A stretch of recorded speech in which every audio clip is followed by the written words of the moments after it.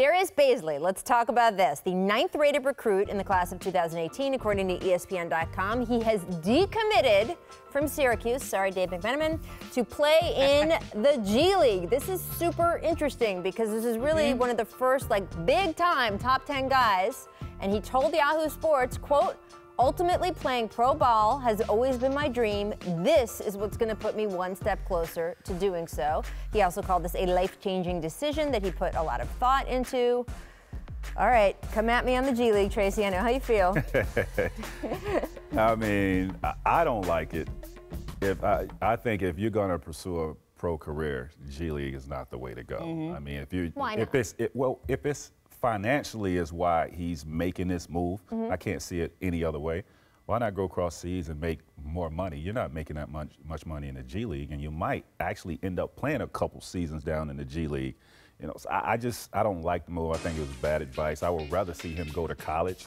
You know, play at how you pass up Syracuse to go to the G League.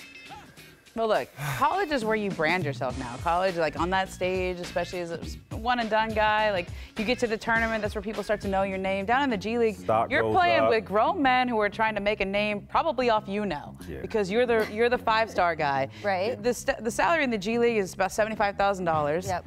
Uh, you know, look, I'm not like you go to college for like what, what basic, essentially one semester.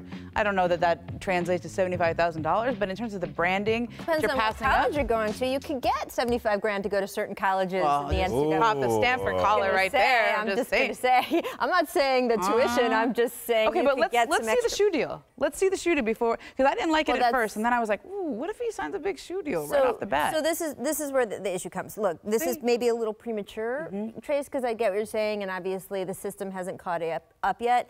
If the NBA does shift things, though, so he can be under the age of 19 and maybe have a two-way contract that would get him up and down. Now, that's different. right? And that, That- would yeah. pay him more, and it would also mean that if he was succeeding in the G League, maybe he could come in for a few games. Yep. You know, That is look at different. Quinn Cook, what he's doing on a two-way contract with the Warriors right, Right. now. The- Introducing these two-way contracts, I thought was a big step for the G League. Yes. Yep. It changes the money for these guys. It changes the opportunity. Right now, there's still that hard cap on being 19 years old, though, or at least having a year out of high school. If that changes, again, to me, and you can, you know, kind of pump up There the he G League is. with the money. Aw, In the ding dong. Look at him. Whoa, 17 year old young fella. Young. Then maybe you could come out of high school like Tracy and play play with men. I don't know. I mean, look, I am obviously down on the NCAA the way they limit opportunities for these guys, and it's just well, as long as that is still happening, the NBA is not going to fix college sports for it. Right. Um, I, I think the G League could be a viable alternative, but you still got it. There's still more tweaking to go. There's also this is also a fascinating way of circumventing the draft, right? If you think about this, Yeah. like that he's going to be in a G League draft. Yep. But th- a player of that caliber generally is going to be a lottery pick, and Mm-hmm. there's teams that tank really hard to try to get lottery picks like that. Now it's about the G League draft. If you see more and more guys So- doing that, that And it's maybe fascinating. This is my, you know, naiveness.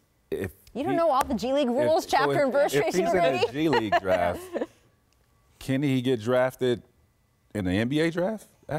He has to get redrafted. He has to get Get redrafted. Yeah. So because of the way the rules are Okay. now, you're not getting drafted by an NBA team, but you will be with an NBA affiliate increasingly. Right. Right. So like, yes, it is it is more complex, but yes, he will go back in and be redrafted the next season, that 2019 year.